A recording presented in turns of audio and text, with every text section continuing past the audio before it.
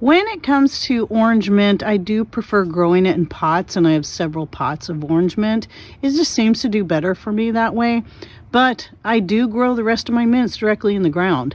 So anyway, I wanted to get a quick shot of my orange mint before I hack it back because I'm going to dehydrate up a bunch today.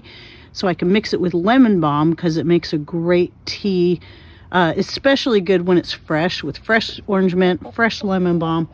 But even through the year, having it dehydrated is good too. And by the way, what you see there is a random valerian that came up from seed from the rest of my valerian.